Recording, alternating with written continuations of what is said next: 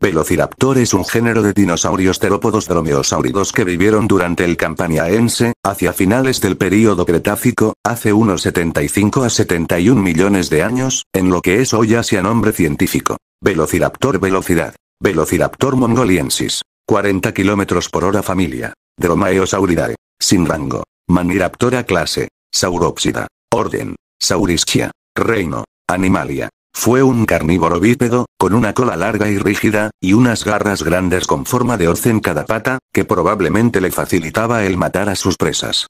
A diferencia de otros dromeosáuridos, el Velociraptor poseía un cráneo bajo y alargado, y un hocico chato, dirigido hacia arriba. Para ser un dromeosáurido, Velociraptor era relativamente pequeño. Los adultos alcanzaban una longitud de 1,8 m, y aproximadamente 0,5 m de altura a la cadera, pesando cerca de 15 kilogramos. El cráneo, de unos 25 centímetros de largo, tenía una forma única curvada hacia arriba, con una superficie superior cóncava y una inferior convexa.